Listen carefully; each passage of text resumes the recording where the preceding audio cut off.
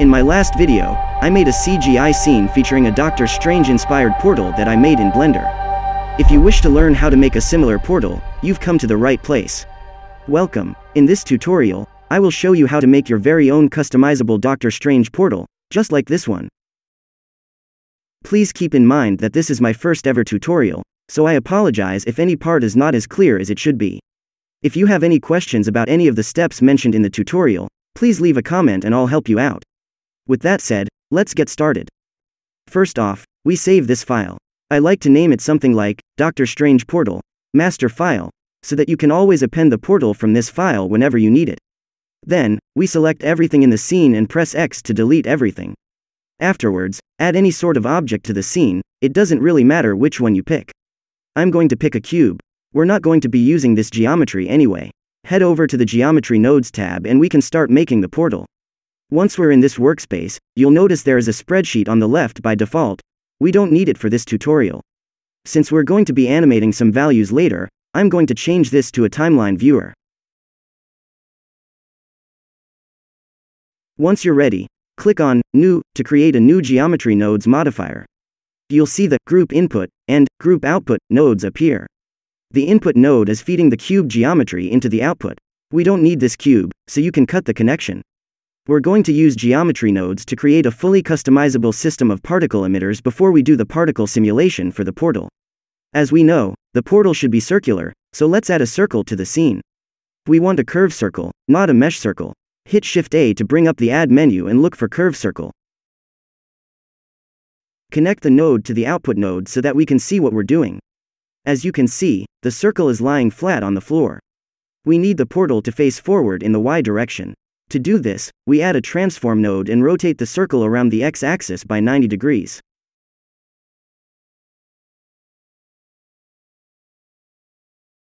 After this, add a curve to points node so that we can create a set of points around this circle. Ignore the huge mess of blobs that we see on the screen, it's just showing you that points are being created. We will set the number of points on this node to be the same as the resolution value on the curve circle node. If we plug both of these into the group input node, you can see we get an adjustable parameter on the modifier stack on the right hand side. Hit N to open up the side panel, and with the Group Input node selected, go to the Group tab and here you can select and rename this parameter to whatever you like. I'm gonna call it Number of Emitters. Here we see that we can also choose a default value as well as the minimum and maximum possible values for this parameter. We can also change the number of emitters directly from the modifier stack on the right, giving us maximum control. Next we add an instances on points node. Everything will disappear because we haven't selected any object to instance yet. Hit Shift A and add a mesh circle node and plug this into the instance input.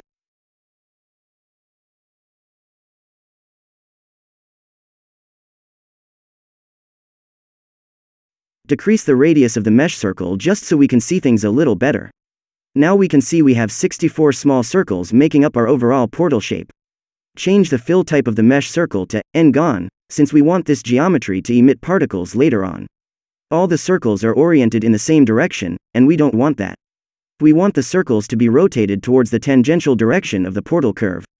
Blender lets us do this automatically. We can plug the rotation field data from the curve to points node into the rotation input on the instances node. Now we see our problem has been solved. You might want to reduce the vertex count on the mesh circle since we don't need a lot of detail on the emitters. I'm going to set it to 8. Now, I am going to plug the mesh circle radius into the input node and rename the parameter to radius of emitters. Next, we want to be able to rotate the portal on the y-axis and control this separately as a parameter. To do this, add a combine XYZ node and plug this into the rotation vector input on the transform node. We want to set our x-axis rotation back to 90 degrees, but when we enter 90, we see that the portal is clearly not rotated to 90 degrees. This is because the Combine XYZ node treats inputs as radians, which is just another unit for angles, instead of degrees. The basic conversion is that pi radians is equal to 180 degrees. We want to work with degrees, not radians, so let's set up a conversion node using a vector math node set to multiply. Click and drag on the three entries to type on all three at the same time, then simply enter pi slash 180 like this. Now the circle looks correct. We can now plug the y value on the combine xyz node into the input node, and rename this parameter to something like portal rotation. I'm going to animate the portal rotation with a driver. Simply type in hashtag frame and hit enter. Now if you play the animation, you can see that the portal is spinning slowly. The driver is updating the rotation value every frame by using the frame number. Just realized I forgot to plug in the curve circle radius into the input node. Rename this to portal radius, and use the side panel to reorder the input parameters if you want to, using the arrow buttons. Here we can see that messing around with the parameters on the modifier stack will automatically update the portal emitters in real time, which is great. Next, we want to animate the portal opening up. In my video, you can see that the portal sort of spirals open like this. To achieve that effect, we need to combine two things. We need to animate the scale of the portal increasing and we need to animate the portal being drawn out like this from nothingness. Let's do the second effect first. Let me move these nodes out of the way for now and connect our original curve to the output. Now, we need to trim the curve so let's add a trim curve node. Now if we try playing with the values, you can see that nothing is happening. This is because curve circles are cyclic, meaning they don't have a beginning or an end. The trim curve node is trying to find an end to trim the curve from. To fix this, add a set spline cyclic node and make sure the cyclic checkbox is unchecked. Now we can see that there is a small gap in the circle, which won't affect our scene much, so don't worry about it. You'll also notice quickly that increasing the resolution of the circle will actually make this gap smaller. Anyway, now we see that the trim curve node finally works. I'm going to change the portal rotation driver to frame multiplied by a negative number, to make the next few steps work correctly. This will make the portal spin in the opposite direction. To me, it makes more numerical sense to make the portal open from 0 to 1, so I'm going to use the end value of this node, not the start value. Plug the end value into the input node. Rename this to portal open factor. Now we can conveniently use this parameter to animate the portal opening up. We also want to make the portal grow as it opens up. This is really easy to do. Simply plug the portal open factor into the scale input on the transform node. I'm going to speed up the rotation of the portal a little by entering frame multiplied by negative 4. Now let's set up some quick keyframes for the opening of the portal. I'm going to set the open factor to 0 at frame 0.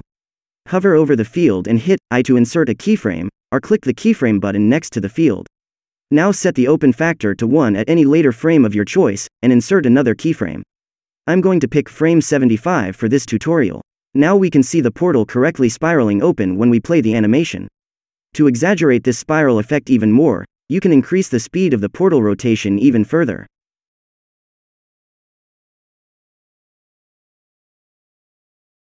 Now let's bring back the nodes we set aside earlier and reconnect them correctly.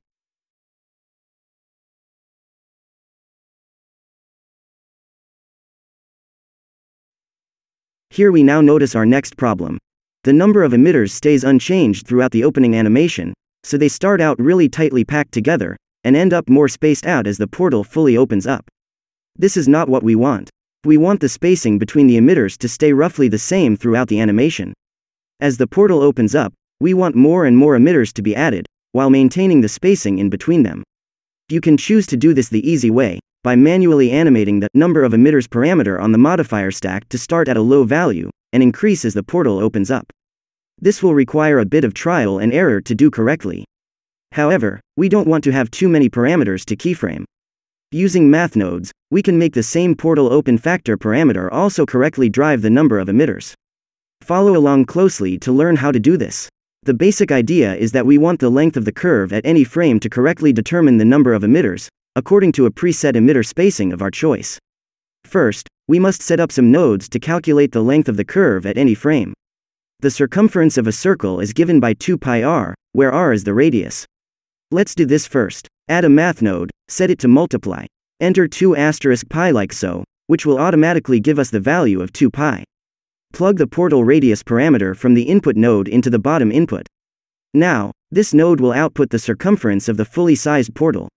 Next, to correctly calculate the length of the curve at any frame, we need to multiply the portal open factor to the circumference two times, and here's why. Let's say we pause the animation when the portal is roughly halfway open. The portal open factor at this frame will be around 0.5. 2 pi r will give us the radius of the fully open circle. However, when the portal is half open, you can see that the radius is also halved, but we are also only getting half of the circumference of this smaller circle. Therefore, we will have to multiply 0.52 times in order to get the correct length of the curve. Let's do this now. Hit Shift D to duplicate the multiply node two times and connect the top inputs like so. Then, plug in the portal open factor parameter into the bottom input of both nodes. This system will output the length of the curve at any frame correctly. The next thing we want to do is to divide this length by our preferred spacing, to output the correct number of emitters required per frame. Duplicate one of the multiply nodes, set it to divide, and connect it to the chain. The bottom value will be the spacing we want to input. I'm going to use 0.1 for now. We can now plug this output into the resolution input of the curve circle node and the count input of the curve to points node like this. Now if we play the animation, we can see that the spacing between the emitters stays the same throughout the animation, which is exactly what we wanted. However, we've run into a small problem. The portal looks jagged at the start of the opening animation. This is because at earlier frames, the resolution of the curve circle is very low. We can fix this easily by adding a multiply node before the resolution input, and setting the bottom value to something around 2 to 5. The higher you go, the smoother the circle will be, but you don't need to go too high. Make sure this node is not affecting the count input, it should only be affecting the resolution input. Basically, we want the resolution of the circle to be at least two times the number of emitters to reduce the jaggedness. Now if we play the animation, we see the portal opening animation works beautifully. Now that we've finalized the portal opening animation, it's time to make the portal closing animation. You can choose to animate the portal open factor from 1 back to 0 if you want to, and this is actually what I did in my previous portal videos. The only issue with this is that the portal will close in the opposite direction to the spin direction. This is not a hugely noticeable issue, since the portal closing animation in my videos is much faster than the opening animation. However, if you want the portal to spiral closed in the same direction as the portal spin, I will show you how to do this now. If you would like to simply just animate the same open factor parameter from 1 back to 0 to close the portal, you can feel free to skip to the next timestamp instead. See you there. Okay, so this section is for those of you who want your portal to close in the same direction as the spin direction. The key to doing this is to go back to our trim curve node and use the start value this time to create a new parameter. The start value trims the circle in the opposite direction of the end value. Plug this value into the input node and rename this parameter to portal close factor. Let's now use the timeline window to quickly create some keyframes to close the portal, like so. Animate the value of the portal close factor from 0 to 1 to close the portal. The open factor should remain at 1. When we play the animation now, we notice that the spiral effect is working, but the portal close factor is not affecting the scale of the portal at all. We want the portal to shrink as it closes. For this, we need to figure out a way to mathematically use both the open factor and the close factor together to drive the scale correctly, during both the opening animation and the closing animation. If we select frames from between the opening animation and the closing animation and study the portal open factor and portal close factor values, we notice that subtracting the portal close factor from the portal open factor will give us an appropriate scale factor for each frame. Let's put this plan into action. Hit Shift A and add a math node, then set it to subtract. Plug the portal open factor value into the top input and plug the portal close factor into the bottom input. By the way, if you want to, you can clean up your node graph just a little bit by duplicating the group input node like this. It's entirely up to you. Now we plug the output from this node into the two multiply nodes like so, replacing the earlier connections. We also need to plug this new output into the scale input on the transform node. Now we see the overall animation runs perfectly fine, and the portal closes in the same direction as the spin direction. Now that we're done with that part, I'm going to take this opportunity to increase the value on the resolution multiplier by a little bit to reduce the jaggedness further. This is one of those values that is really yours to play around with until you're satisfied. Also, I realized that I forgot to plug in the emitter spacing value from the divide node into the group input. This is a parameter we want to have control on, so let's do this. I will also appropriately rename it, in case you skipped the section from before and you're surprised at why there's suddenly two group input nodes, you can plug this into the same group input node from before, it will make no difference. By the way, now is a good time to get rid of the number of emitters parameter since we're no longer using it. Now we can conveniently change the emitter spacing value to our liking. Oops, Blender has crashed since I accidentally slid it into a negative value. The divide node is now telling Blender to create a negative number of emitters, which is not physically possible, of course. Here's a good opportunity to learn how to avoid crashes or other problems like this in the future. It's good to always check your default, minimum and maximum settings for the parameters in the group input node. I'm going to set the minimum value for the emitter spacing to be something like 0.0001. Anything that's greater than 0, because dividing by 0 will also cause problems. Alright, now we're pretty much done with the geometry node setup. It is time to make some final adjustments on the parameters and then we'll be ready to start making our particle system. I'm just going to reduce the emitter spacing a little bit, and make the radius of the emitters smaller.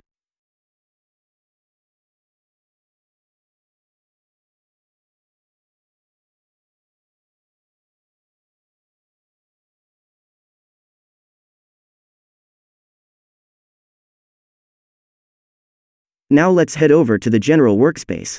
With the portal selected, head over to the Particle Systems tab and click the plus icon to add a new particle system. Let's quickly rename this to shards, and I'll also quickly just increase the number of particles to 5000. If we play the animation, we notice that we've come across our first problem. The particle system is not using our geometry nodes object to create the particles. We could try to fix this by opening the source menu here and enabling use modifier stack, which tells Blender to use the modifiers to generate the particles. However, when we try playing the animation again, we see it still doesn't fix the issue. Why is this so? Well, the reason is that these emitter objects in the portal are instances, meaning Blender doesn't treat them as real geometry to generate particles from. To fix this, we must jump back into geometry nodes and add just one last node, a realize instances node. This node tells Blender to turn the instances into real geometry data at the respective locations and rotations. Now, when we head back to the general workspace and play the animation, we see the particles finally taking on the portal shape, which is what we want. Next, we need to create the shard object to use in the particle system. I'm going to create an icosphere, reduce the subdivisions to 1, and scale it down while in edit mode so that the scale is automatically applied. Now we can click on the X on the axes at the top right corner to view the icosphere from the right hand side. Toggle X-ray mode and box select half of the icosphere, then hit E to extrude along the y-axis like so. Now we have our shard object. We also want to add in another object, which we will call a spark. Add another icosphere and scale it down just like before. Move it next to the shard object. Let's now rename the shard object and the spark object correctly, in order to keep everything organized. Next, we click back on the portal, go back to the Particle Systems tab and go to Render, and set the particle system to render as an object, then pick the shard object. Mess around with the scale value until you have something that you're happy with. All the particles are rotated the same way, and to fix this, we check the rotation checkbox. Now when we play back the animation, we see that the particles are generated with the correct rotation data. Next, we give the particles a starting normal velocity. Now, we see that the particles are shooting outwards correctly. Next, we change some values in the particle system settings. Turn down the lifetime, turn up the number of particles. You can also change the seed if you want to. We now have something that looks closer to the final portal.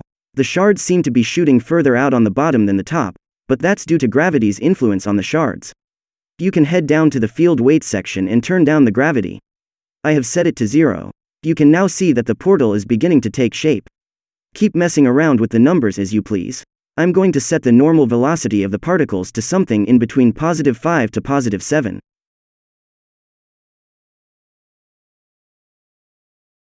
We can see that at the start of the opening animation, the particles initially shoot out violently upwards before taking the correct shape of the circle. This is because, by default, Blender uses a Bezier interpolation on keyframes, meaning that the portal opening and closing animation will start slow, speed up, and then end slowly. This means that for the first 7 to 10 frames or so, the circle is so small that all the particles are shot out in one particular direction. There are two ways to fix this issue. The first way is to make the particle simulation start at a later frame, for example, frame 10, like I've done here. This will fix the problem. Another potential solution is to select the portal open factor and close factor keyframes, hit T and change the interpolation to linear. This will also fix the issue, however, the portal will not open up smoothly like before. The opening animation will end abruptly. There are many instances where linear interpolation is better, however in this case, I personally prefer Bezier. So I'm going to stick with the method of delaying the frame start to 10 frames. To make the portal feel more natural, I'm going to increase the lifetime randomness all the way to 1, and increase the number of particles. Increasing the randomized value under velocity will also give the particles some random movement in the three axes, giving the portal a more 3D feel from the side. Alright, so before we add our next particle system, we shall add a ground plane. Move this plane underneath the portal and scale it up to your liking. Now with the plane selected, head over to the Physics tab and enable Collision. You may want to tweak some of the collision settings later, but for now the default settings are fine. The collision modifier will allow particles from the simulation to interact with the ground plane. Click back onto the portal, add a new particle system and rename it Sparks Short. This will be a particle system consisting of sparks with a short lifetime, which will enhance our portal and integrate it into the background a little better. For the sparks, we want gravity to affect them, so don't change the gravity to zero like we did before for the shards. Select, use modifier stack, give the particles a normal velocity similar to the shards, decrease the lifetime to something that's not too long but longer than the shard's lifetime. Something in between 7 and 10 should be fine. Select Render as Object, choose the Spark object we made earlier. If the particles are not attached correctly to the portal, you might have to go to the Spark object and right click and set Origin to Geometry. Now, finalize the scale of the sparks. Change the starting frame of the simulation to frame 10 like before. Now when we press play, we see we have an organic system of sparks being generated, falling to the ground and bouncing off correctly. I personally think these sparks give more life to the portal. Now, it's your job to keep messing around with the number of particles, the lifetime and other values until you get a simulation that looks good to you. Make sure not to go too overboard with these values though. Once you're done with this particle system, add another new particle system. Select the same Sparks short system we made earlier, but click this button up here to duplicate the particle system. Rename this new particle system Sparks Long, as we want some of the sparks to stick around for longer. Reduce the number of particles, mess with the seed value and increase the lifetime to something larger, like 15. Now I'm going to mess around a little bit more with the numbers in all three particle systems until I get something I'm happy with. You should do the same with your own portal. You can also go back and adjust the length of your shard object if you feel the need to do so. Once you get a simulation that you're happy with, there's one thing you'll want to do, You'll want to animate the scale of the particles going from zero to full size as the portal opens up, and vice versa when the portal is closing at the end. Do this quickly for all three particle systems.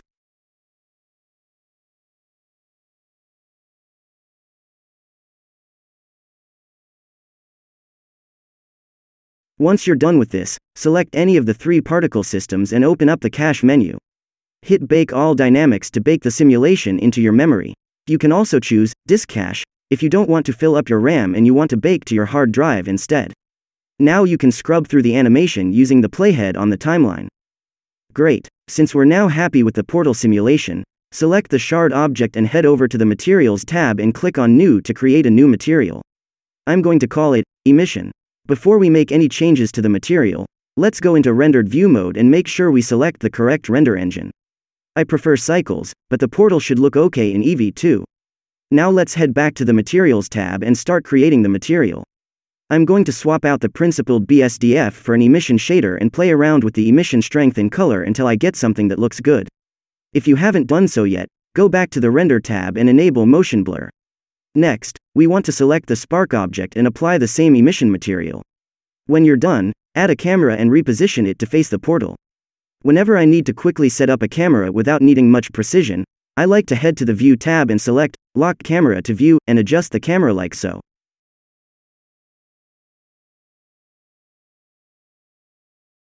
After this, I'm going to head over to the World Settings tab and change the background color to something that's much darker, almost black. Now let's do our first test render. The portal is looking great. Now it's a matter of going back to your particle system settings and playing around with the values until you get something that you're happy with personally. I really think it's important that you should experiment with numbers yourself to get the look that you want. But otherwise, the tutorial is pretty much complete. Here's a reminder. Make sure you increase the lifetime randomize in the velocity randomness to around 1 for all three particle systems.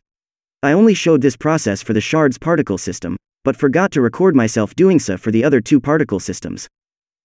In the last part of this video, I'll really quickly show you how to import this portal into any scene of your choice. Let's imagine this is a scene you want to import the portal into. Go to File, click Append. Locate your Doctor Strange Portal Master file and double-click it. Go into the Node Group folder and select your Portal Geometry node system and append it.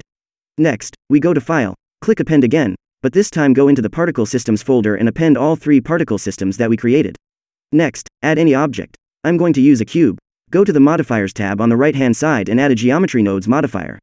Select the portal node group that we appended. Blender will automatically create the system of emitters for us. Now you can move and rotate it to wherever you want. After this, adjust the parameters to your liking. Make sure to set the portal rotation driver to hashtag frame multiplied by a negative number. Now, we can animate the portal open factor and close factor to open and close the portal, at any frame of your choice. Next, we head over to the Particle Systems tab and add three particle systems. Select the Shards, Sparks Short, and Sparks Long particle systems from the drop-down menu. I just realized the Scale keyframes from the master file were carried over here, so right-click the Scale box on all three particle systems and clear the keyframes for now. We can now set whatever scale we want for the particles. Adjust the frame start and frame end values to the correct numbers, according to when you want your portal to open and close. Now, we can set the correct scale keyframes so that the particles will grow as the portal opens, and shrink as the portal closes. Remember to repeat these steps for all three particle systems.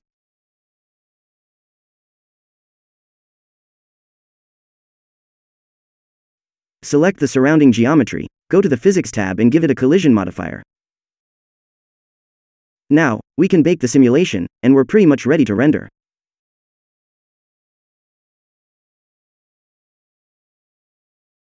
Well done on making it all the way through the tutorial. Thank you for watching, and have a great day.